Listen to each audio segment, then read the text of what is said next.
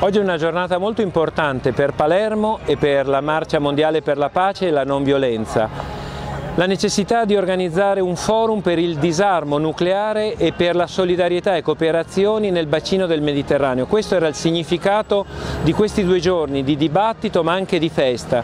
Pensiamo che quello che accade nel nostro mare non è quello che era l'elemento di incontro, dialogo tra le culture, viceversa è una minaccia continua e il fatto che popolazioni intere cerchino di arrivare qui nella speranza di lavorare, di vivere, invece trovano morte proprio nel nostro mare.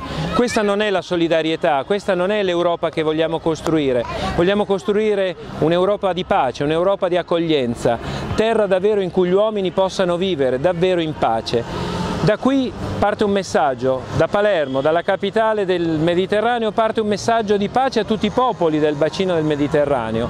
Da qui parte anche la nostra marcia per la pace, circonderà tutto il mondo. Quando il 2 ottobre da Wellington un gruppo di persone inizierà a camminare con questo messaggio, gli esseri umani vogliono vivere in pace e possibilmente con la non violenza. C'è una base di tutto questo, un principio, una regola d'oro, tratta gli altri come vorresti essere trattato. E questo è il semplice messaggio che vorremmo portare a tutto il mondo. E se solo una parte di questo verrà applicato non soltanto dagli esseri umani nel loro comportamento quotidiano ma anche dai governi, anche da ciò che eh, determina il destino a livello mondiale, allora lì sì che potremo dire che finalmente usciremo dalla preistoria umana per entrare in una nuova storia, una storia fatta da esseri umani che davvero vogliono vivere in un mondo di pace e di non violenza.